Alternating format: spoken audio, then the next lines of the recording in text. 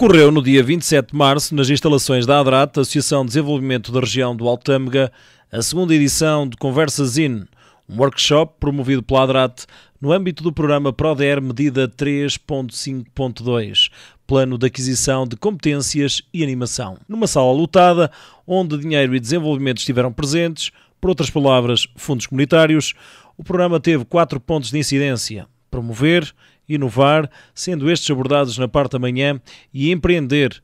Casos de sucesso, como exemplo para a região do Altâmega, foram temas da apresentação da parte da tarde. Com um interesse definido, teve como oradores convidados especialistas nas várias vertentes no que diz respeito ao desenvolvimento da região.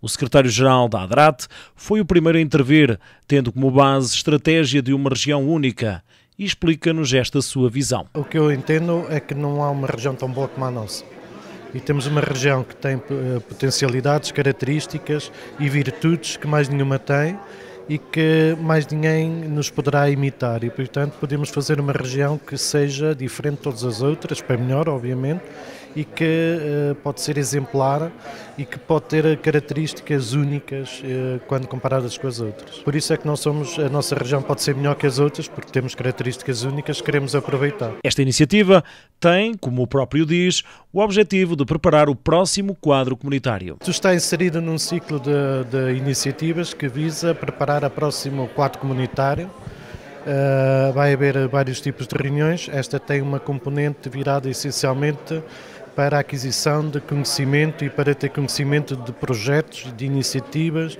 de metodologias de trabalho que se fazem noutras regiões e que nós uh, pensamos podem ser úteis para, para, para nós, para aplicarmos também na nossa região. Enquadrado no painel com o tópico promover, foram três as intervenções, sublinhado a importância deste tema tão importante. Uma vez que se está em sintonia de que a região tem potencialidades a vários níveis, mas há ainda muito trabalho a fazer no que diz respeito à promoção. João Marrana, da Comissão de Coordenação de Desenvolvimento Regional do Norte, teve como principal foco de intervenção a transição de quadros comunitários, assim como algumas diferenças entre eles. Neste momento estamos numa fase de transição entre o quadro comunitário anterior, que terminou em 2013 e que ainda está em execução, eh, em que na região norte tínhamos o programa operacional ON 2. Estamos agora a preparar o próximo quadro.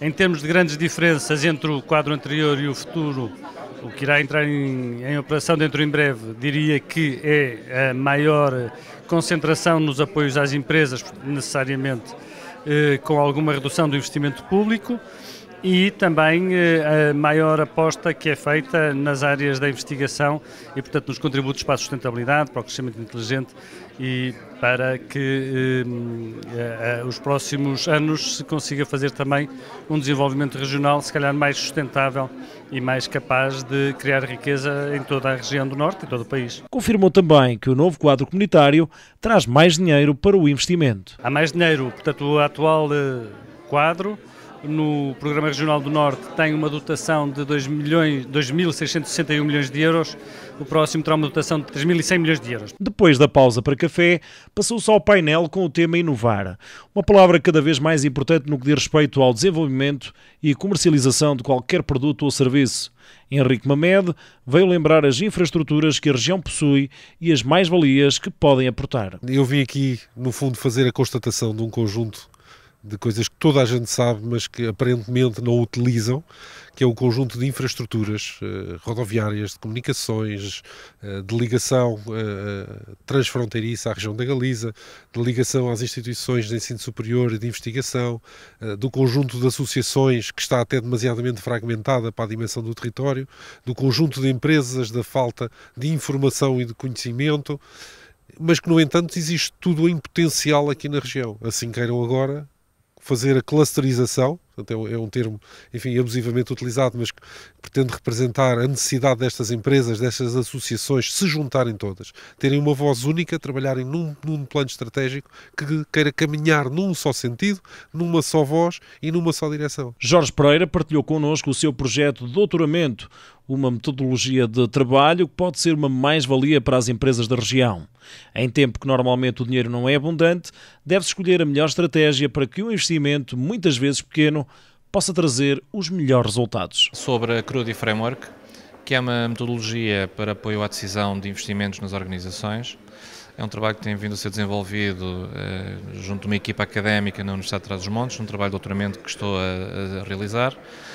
E o objetivo desta metodologia é permitir recolher uh, a importância na perspectiva de cada decisor na organização, relativamente aos objetivos uh, da organização e de negócio, uh, caso seja uma empresa privada, caracterizando tanto aquilo que é a opinião dos vários decisores da organização sobre os investimentos mais importantes ou os menos importantes, pontuando cada investimento, de acordo com a com o respectivo processo dentro da organização que esse investimento vai dar cobertura, para que os objetivos da organização sejam atingidos de forma mais rápida e com o investimento disponível, que hoje em dia é um recurso uh, escasso, tanto os recursos materiais, sejam os financeiros ou as pessoas, são muito limitados, muito inferiores às necessidades de investimento das organizações, e esta metodologia permite escolher melhor quais os investimentos que podem e devem ser uh, prioritários para que uh, os resultados uh, da organização sejam cumpridos. Vítor Santos explica a ideia do tema que trouxe para o seminário,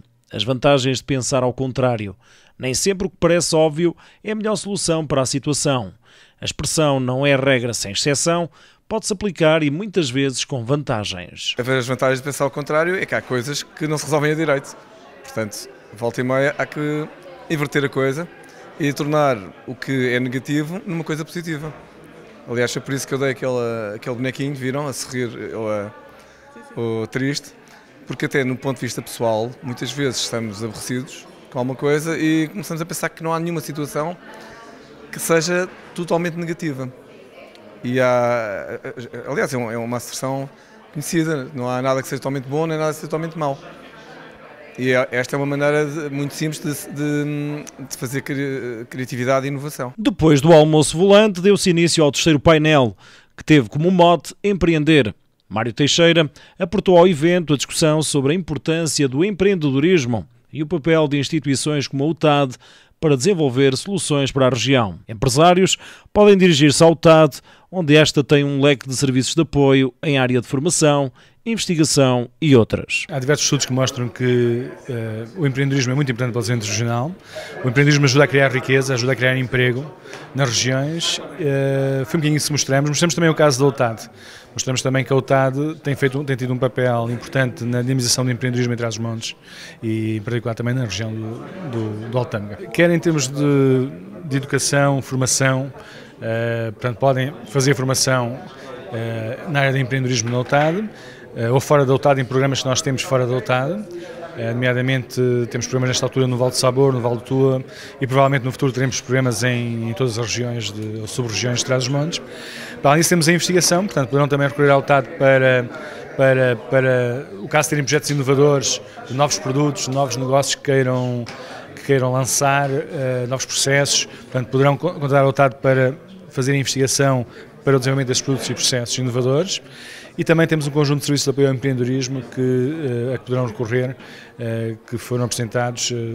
portanto, o que aconselho, no fundo, é a recorrerem ao Gabinete de Apoio a Projetos da UTAD, caso tenham algum projeto que queiram desenvolver em conjunto com a UTAD. Manuel Oliveira, com o tema Planeamento em Marketing, transmite-nos a importância do marketing tanto para as empresas como para as pessoas pessoas bem preparadas fisicamente como intelectualmente influencia o sucesso da atividade profissional. Portanto, eu acho que o marketing cada vez é mais importante, mas não só nas empresas, também as pessoas devem ter uma preocupação com a sua marca pessoal como as empresas investem também em inovação e desenvolvimento, também as pessoas devem investir parte do seu orçamento líquido ou salário líquido em atividades para eles se desenvolverem, quem seja a ler, viajar, ir a conferências, vir aqui à Adrato, como hoje, eh, despender tempo e conhecer ideias, eh, partilhar conhecimento. Eu acho que cada vez mais a inovação é importante, mas não só lá estar nas empresas, mas também nas pessoas, porque as pessoas também são capazes de inovar elas próprias. Não tem que ser eh, só as fábricas a inovar, cada vez mais há utilizadores que inovam.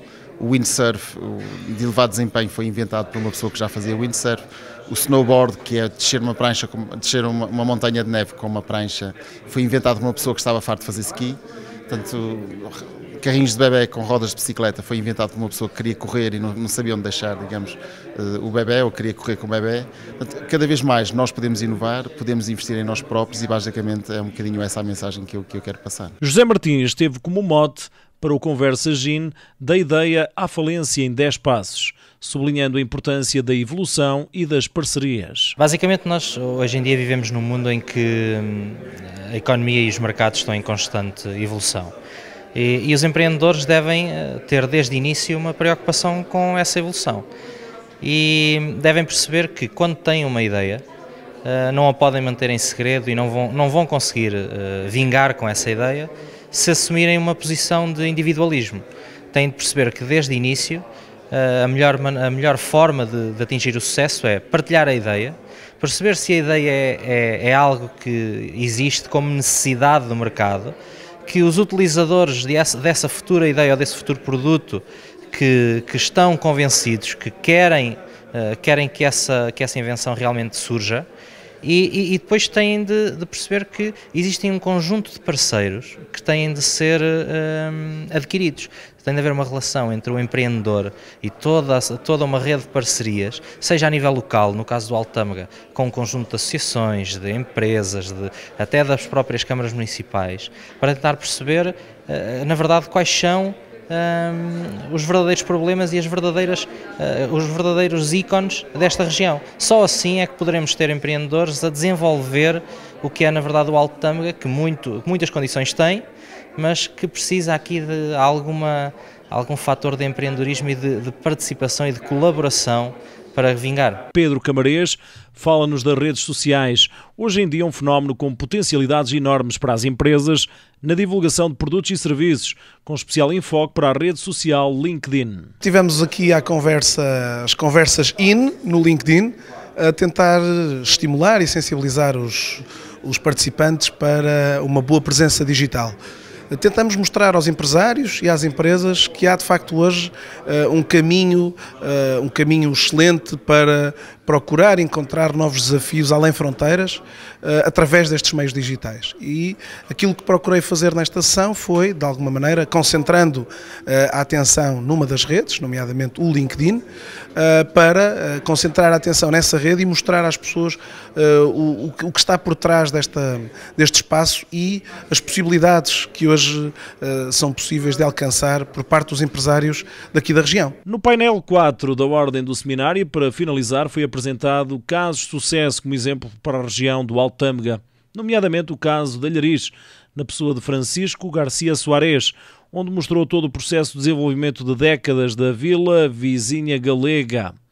O caso de Óbidos, apresentado por Filipe Montergil, ruralnet.pt, um site de venda de produtos regionais com vendas na ordem de centenas de milhares de euros. E uma jovem empresa, Gema, onde o seu diretor, Diogo Barbosa, deu alguns exemplos de exportação para todo o mundo.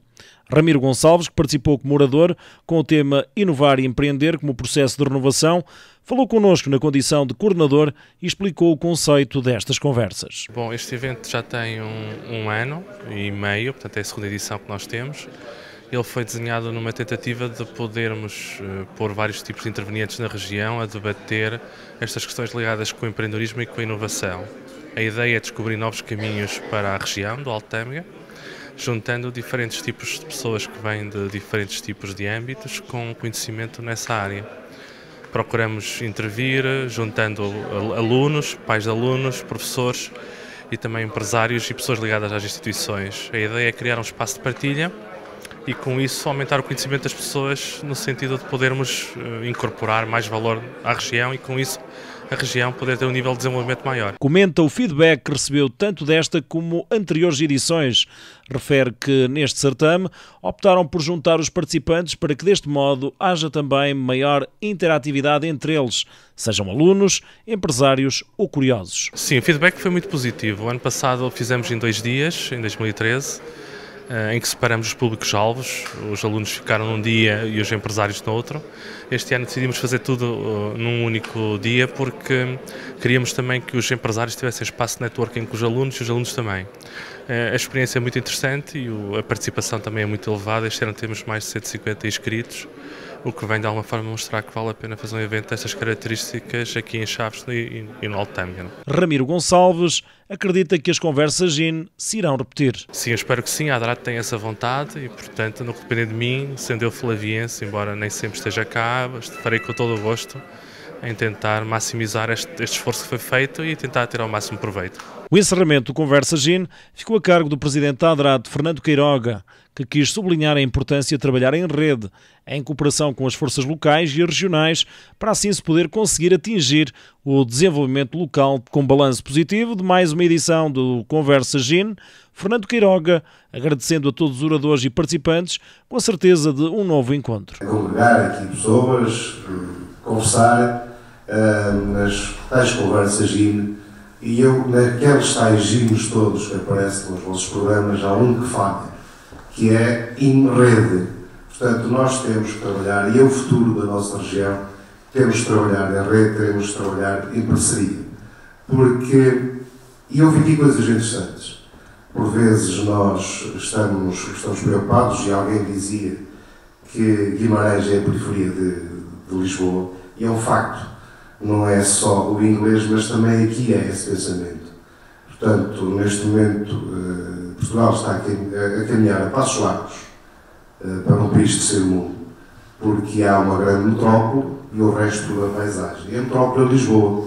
E, portanto, nós temos que lutar e temos que fazer vingar os nossos produtos, as nossas valias, eh, as nossas potencialidades que temos e que, e, e que são muitas.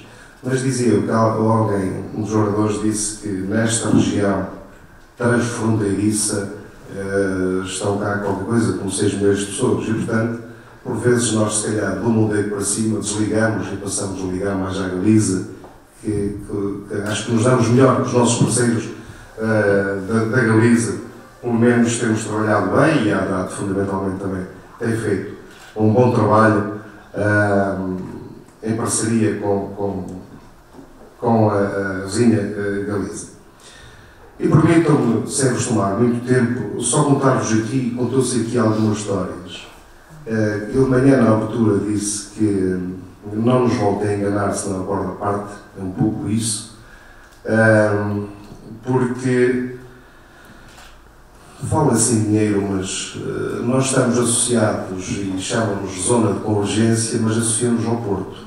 O Porto não é zona de convergência, mas vai-nos buscar algum dinheiro. Garantidamente, os tais spillovers que, que existem vão buscar dinheiro que é nosso, que nos pertence e que vão buscar para lá, portanto, as águas profundas do Rio Tejo, enfim, uma série de projetos que acham que é de interesse nacional e, portanto, vêm buscar eh, os dinheiros aos regionais. E eu dizia há, pouco, e, e na presença do, dos, dos representantes da CCDR, eh, que nós eh, temos que, e nós temos esta responsabilidade política neste momento, temos em todos os fóruns por onde passar, temos que fazer vincar esta, esta, esta nossa ideia, que é para não voltarmos a ser enganados, isto com toda, com toda a sinceridade. Temos agora esta oportunidade com financiamentos até, até 2020 e garantidamente que mesmo a própria ADAC, que foi ela que organizou isto, tem técnicos capazes para também prosseguirmos. Resta-me agradecer a vossa presença, aos assistentes deste, deste seminário, a todos os jogadores. Foram brilhantes e eu peço desculpa por não estar aqui, não, estar, não poder ter estado aqui quarta da tarde, mas tive a reunião com os meus colegas, problemas de, de, situações de, de, candidaturas, de crédito que ainda está a terminar, e com os, com os representantes da CCDR, mas não tenho dúvida que, uh, que foram bons e tenho pena por ter pedido estas, estas uh, conversas. Muito obrigado a todos e até uma próxima que não demora muito. Muito obrigado. 25 anos a promover o desenvolvimento regional, a ADRAT irá com certeza proporcionar mais conversas GEN num futuro próximo e que este seja um instrumento que possibilite novas competências com vista ao desenvolvimento regional.